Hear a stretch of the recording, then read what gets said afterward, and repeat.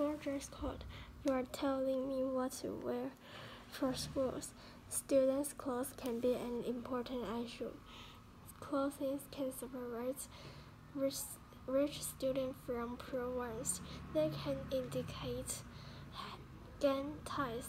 They can display offensive ideas. They can they can show too much. They can also show too much bare skins.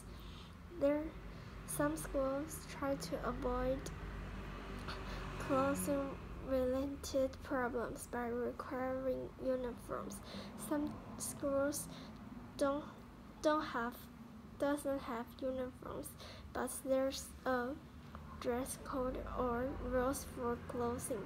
These rules give students a choice and allow to self-expression. Gregory and De Deborah are discussing what what high school to attend in, in September. They can choose a near a ne nearby nearby private private private school Willis Academy, which has which has a dress code, or this probably public school Hoover High School, which has no none. Willis is a good school, but it's a bit expensive.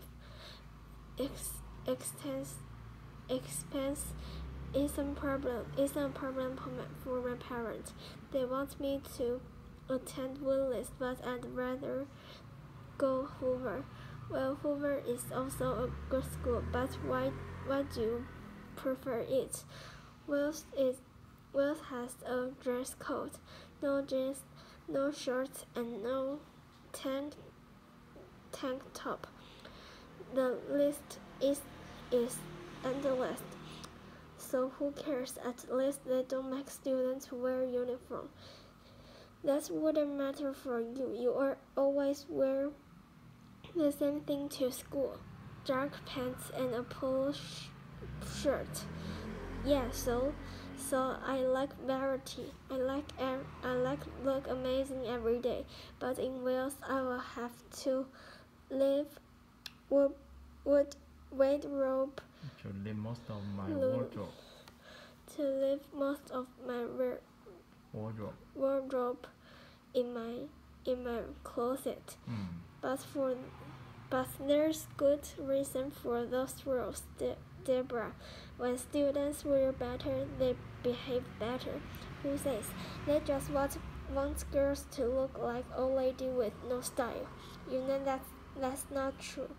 I think they want students to concentrate more on school and less on clothing and they don't want to they don't want clothing distract or, or offend people. I know, I know. And still I hope I hope my parents don't let me to don't make me attend to Willis. And if they do, then I will then I will just have to get used to wear like an old lady. Get, get used to get, get used to dressing like an old lady.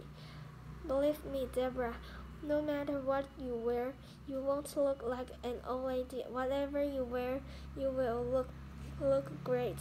Well, thank you, Greg. 好。